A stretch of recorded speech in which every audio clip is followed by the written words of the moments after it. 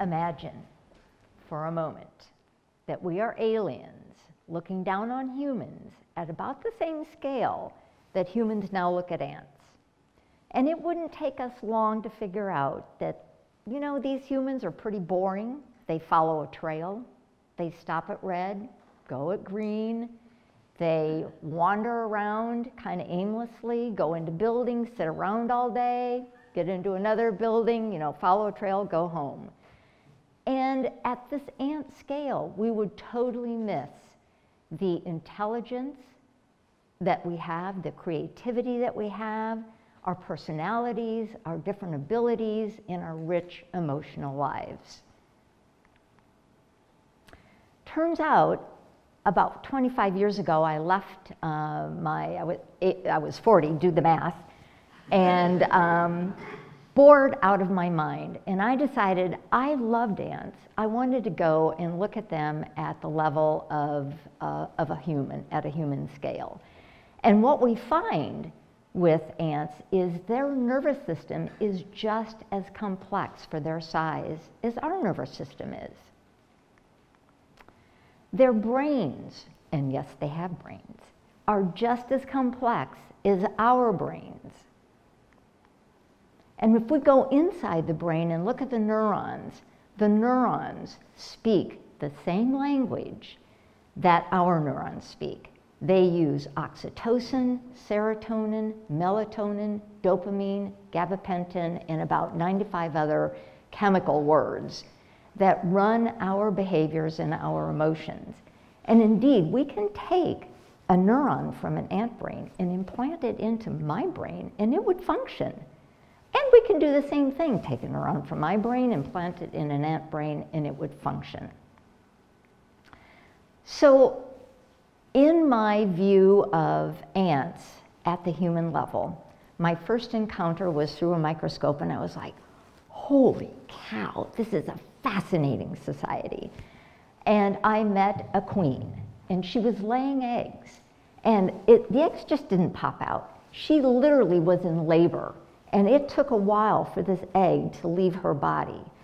And oxytocin was the neurotransmitter that was allowing her, uh, uh, that was controlling the contractions of her uterus to make these eggs um, come out. Once the eggs emerged, again, it's oxytocin that turns on our sense of love and attachment and devotion to these young, helpless offspring. And you'll notice this queen, how tenderly she carries this egg after having delivered it herself over to the clutch of eggs that she's already um, birthed. And she will guard them, protect them, and yes, love them until they hatch. And once they hatch, the uh, workers are smaller, their first batch of offspring, they're all female, they're all sterile and they're much smaller than she is, and they pretty much take over the maternal care of their sisters. And one of the things I noticed um, in the lab was this little uh, booty waggle that these ants do. So we did with my students a whole bunch of experiments, and we found that they only do this under two conditions. One, when they're taking care of their, their uh, uh, little sisters, they're helpless little sisters, the eggs and the larvae, and they do it when they're ingesting a really good type of food, much like a banana split. They get really excited about it and they're just waggling those little butts all over the place. And so in our experiments, there's no sound emitted, there's no chemical emitted, there's, it, they don't, it's not a visual signal because they live underground and light doesn't penetrate ground. And so I began to think that this booty waggling is really an expression of pleasure the pleasure of eating and the pleasure of taking care of our young. And it's very much like the wagging of a dog's tail when that dog greets a family member. And it's very much like us smiling or rocking a baby when we greet a family member. Now, we know the fire ant as a warrior. And uh, how many of you have been stung by fire ants? Yeah, like the majority. And I'm sure, like most of us, you were going like, man, I hate these sons of bitches. but in fact, they're not sons. This is, they are all daughters. They've got the weapons, the chemical weapons, the venom, and the stinger. The males do not, but that's a story for a different time. So, right now, I'm going to introduce you to three ants. Those that, uh, and, and they have three different personalities. They came from three different families. One of them's highly aggressive. She's like, I found somebody I don't like. The other is uh, kind of panicked and goes into, uh, plays dead, kind of goes into a fetal position. And the third one is just fearful and it's like running away. She's just in a panic and, and, and uh, can't get out. And if you watch this, you're going to see another interaction between the aggressive ant, there's the one in a panic, she's just taken off, and this other little ant that's younger and inexperienced just goes into the fetal position.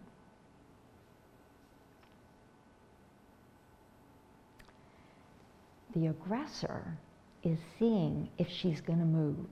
And if she moves, she will immediately nail her with her jaws and cut off a leg, an antenna, or a head. But this little ant, and the first time we saw this, we thought it was dead. Pretty soon you'll see an antenna come out. She's like, Is it safe to move yet? There's the antenna. And pretty soon, nothing's threatening her because they, they work mostly by smell and by touch. And she takes off. She's ready to find an exit. So, again, three very distinct personalities.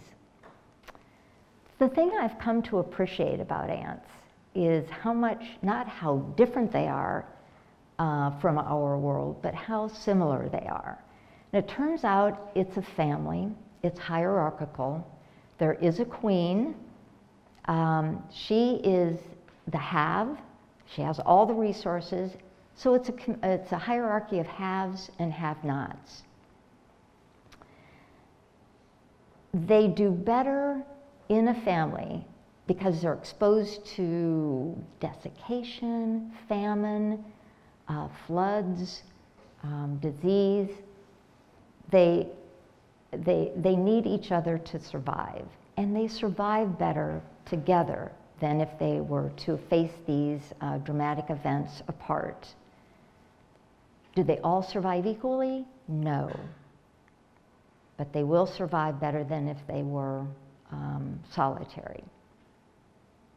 I've come to think of these ants as my own family, and the haves in the family, even though it, it may seem like unfair to have, you know, the, some um, that have that are large and uh, and fertile and have all the resources, and others are sterile, small, they die young. The queen can live 45 years. The um, workers live maybe a year at the most.